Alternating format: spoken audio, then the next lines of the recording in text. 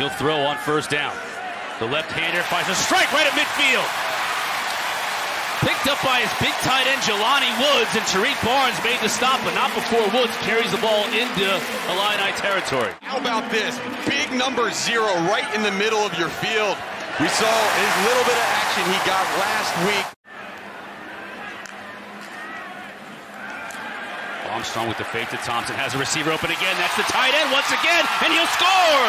Jelani Woods, two big catches on the drive, and he finishes it off with a touchdown. Well, they got off to a hot start here early in the morning. Jelani Woods, his first career touchdown, 32 yards for the score. Virginia up top early over the Illini.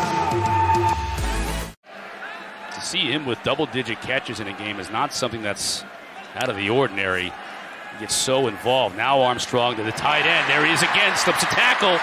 Jelani Woods with a first down.